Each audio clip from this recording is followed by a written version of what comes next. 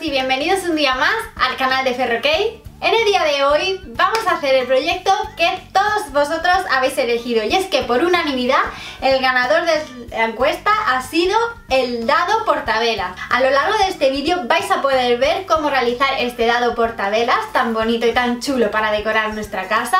Y os traigo una sorpresa, ya que voy a sortear este mismo dado portavelas que yo he hecho entre los suscriptores del canal de Ferrokey. Para participar es muy fácil, simplemente, uno, tenéis que suscribiros al canal de Ferrokey de YouTube y dos, tenéis que dejar un comentario aquí abajo en el canal de YouTube, en este vídeo, en este mismo vídeo. Y ya está, y ya entraréis en el sorteo de este DIY que vosotros mismos habéis elegido. Tenéis de plazo para participar hasta el 26 de abril y en los próximos días anunciaremos el ganador del sorteo. Así que nada, animaos a participar y a compartirlo en las redes sociales. Mucha suerte y os dejo con el paso a paso. Los materiales que vamos a necesitar son un cubo de madera de 18 x 18 centímetros o similar, lijadora, masilla para madera, taladro y broca de cazoleta de 40 milímetros, tinte y un trapo. En primer lugar, y como os imaginaréis, tenemos que empezar lijando el cubo.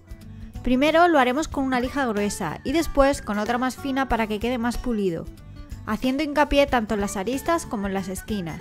Una vez lijado y si la madera tiene imperfecciones, nos ponemos un guante y aplicamos un poco de masilla para madera con el dedo, o si tenéis, con una espátula. Dejamos secar una hora y volvemos a lijar con la lija fina. Listo el cubo, marcaremos el sitio donde irán los agujeros. El 1 lo marcaremos en el centro, para el 2 colocamos la regla en diagonal y marcamos a 7 centímetros de ambas esquinas. Para el 3 marcaremos el centro y en la diagonal a 6 centímetros de ambas esquinas. Para el cuadro marcamos 4 centímetros y medio del borde en ambos lados, arriba y abajo, y después realizamos otra marca a la misma distancia en la otra dirección. El 5 lo haremos de la misma forma que el 4, añadiendo una marca en el centro. Y para el 6 realizamos marcas arriba y abajo a 4 centímetros y medio del borde y colocamos una regla uniendo estas marcas y marcamos a 4 centímetros arriba y abajo y a 9 que será el punto del centro. Realizamos la misma operación en la otra hilera. Ahora realizaremos los agujeros con el taladro y si tenéis un soporte para hacerlo con más precisión mejor, aunque también se puede hacer a pulso como ya veis que hice en el DIY anterior. Aquí estoy comprobando con un papelito de la altura de la vela la profundidad del agujero.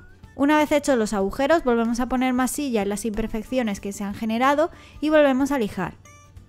Y para finalizarlo, lo decoraremos como más nos guste. Podéis pintarlo, aunque yo he decidido teñirlo con el color roble para que quedara más oscuro. Y ya tenemos terminado este dado portavelas tan elegante y original. Bueno, espero que os haya gustado mucho este vídeo y por favor no olvidéis poner un comentario acá abajo y suscribiros al canal para participar en el concurso.